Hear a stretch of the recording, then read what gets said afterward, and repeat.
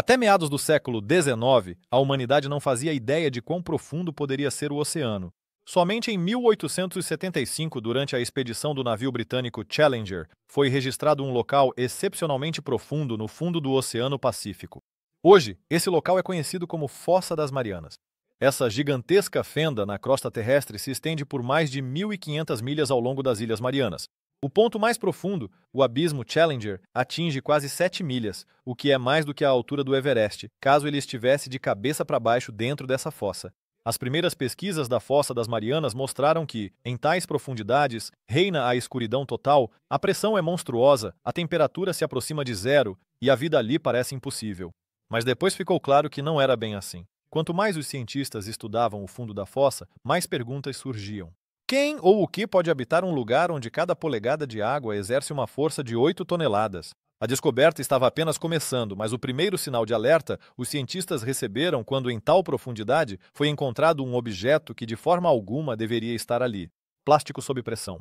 Em 2016, cientistas japoneses realizaram uma série de filmagens em águas profundas na Fossa das Marianas. Nas imagens era possível ver algo que destoava completamente do ambiente ao redor.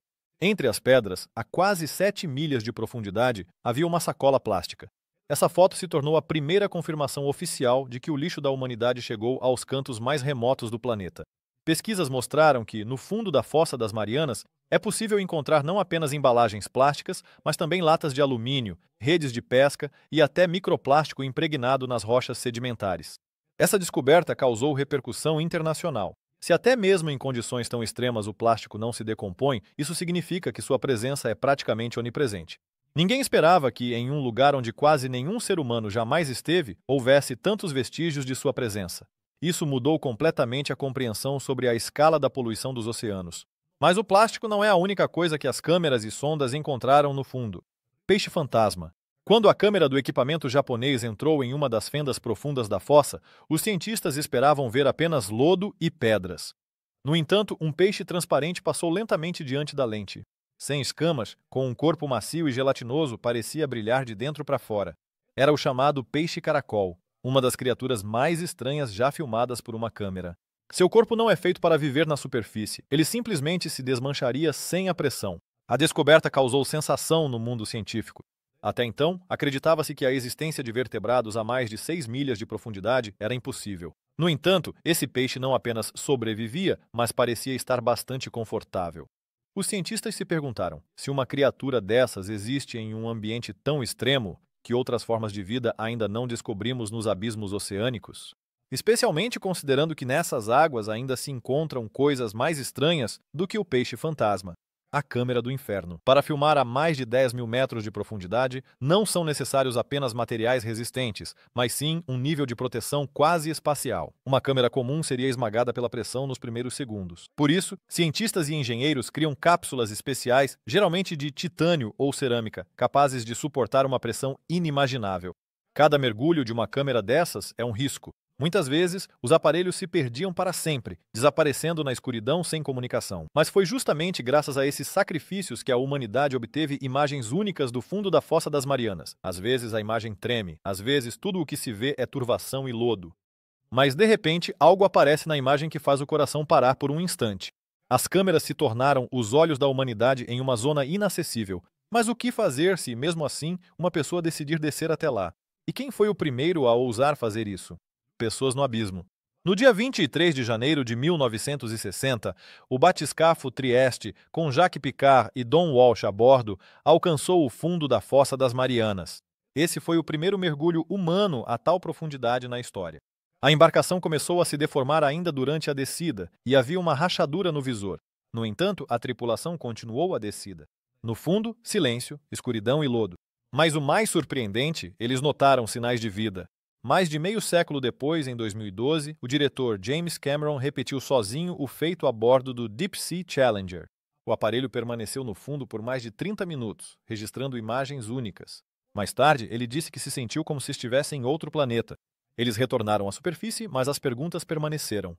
Por que, apesar de tantas tentativas, ainda sabemos tão pouco sobre esse lugar? Talvez porque chegar lá seja mais difícil do que você imagina. O Everest subaquático, Embora um voo ao espaço pareça mais ambicioso, em termos de dificuldade, descer a Fossa das Marianas é comparável a uma expedição à Lua.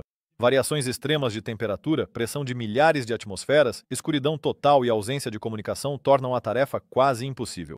Os equipamentos precisam ser autônomos, pois as ondas de rádio não atravessam a espessa camada de água a essa profundidade. Mesmo o menor erro de cálculo pode resultar em tragédia.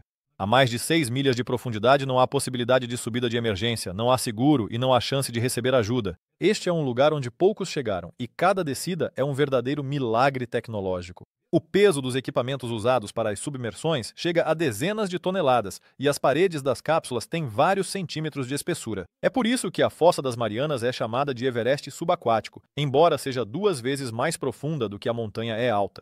Mas, apesar dos avanços tecnológicos, algumas descobertas foram feitas não apenas com a ajuda da tecnologia, mas também graças às substâncias trazidas do fundo do mar. Lama do submundo. Durante uma das expedições, os cientistas coletaram amostras de sedimentos do fundo na região do abismo Challenger.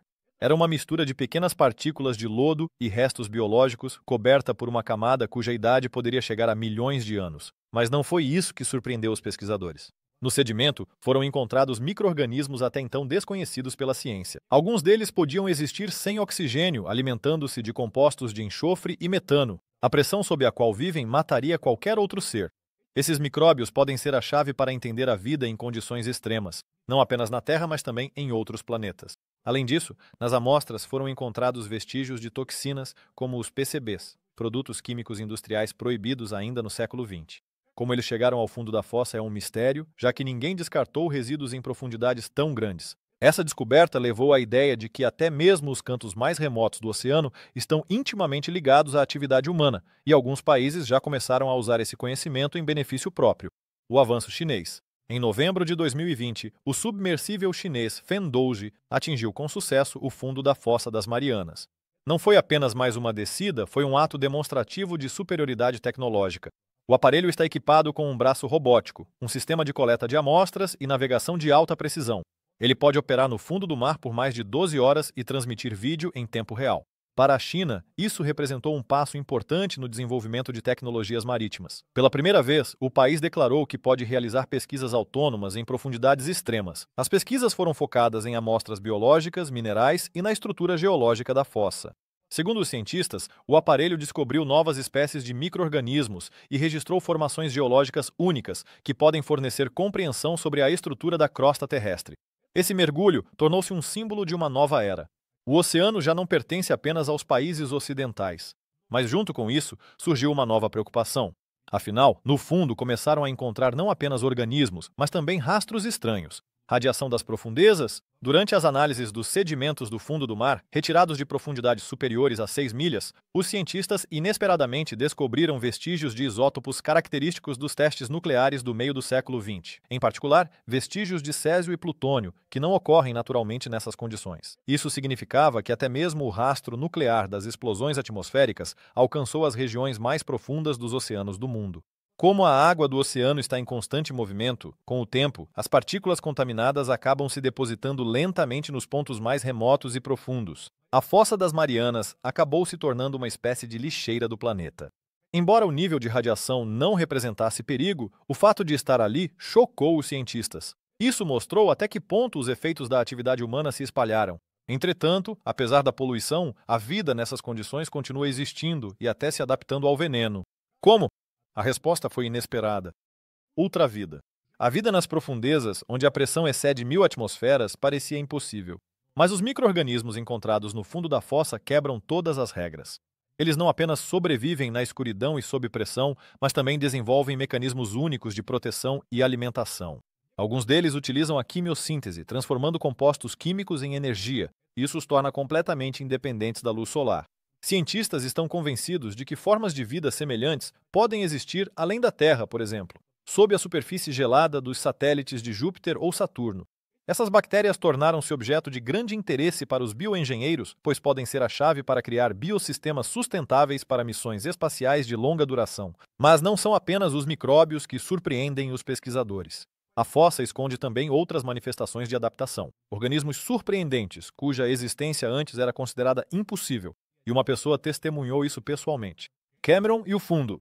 Quando o diretor James Cameron, em 2012, declarou que pretendia descer pessoalmente ao fundo da Fossa das Marianas, muitos encararam isso como um golpe de publicidade. Mas, alguns meses depois, ele se tornou a primeira pessoa na história a realizar um mergulho solo no abismo Challenger. O aparelho Deep Sea Challenger foi construído especialmente para isso: casco leve, posição vertical e um sistema de iluminação extremamente potente. O mergulho durou cerca de duas horas e meia, a quase 7 milhas de profundidade, Cameron passou 31 minutos na escuridão absoluta. Ele descreveu o ambiente como opressivo e alienígena, e o movimento do aparelho como um mergulho em um vazio de tinta. Apesar das condições extremas, o equipamento de filmagem resistiu e as imagens do fundo se tornaram uma sensação. Cameron não apenas fez um documentário, ele abriu uma nova página na ciência privada. Sua expedição provou que iniciativas individuais podem competir com as estatais. Mas por trás dos grandes nomes e conquistas existe uma verdade assustadora. A Fossa das Marianas não é apenas uma meta científica, mas também um reflexo da nossa irresponsabilidade. O inimigo está nas profundezas. Durante seus mergulhos, os cientistas descobrem cada vez mais que mesmo os cantos mais isolados do oceano não são limpos. No fundo da Fossa das Marianas encontram-se microplásticos, compostos tóxicos e metais pesados.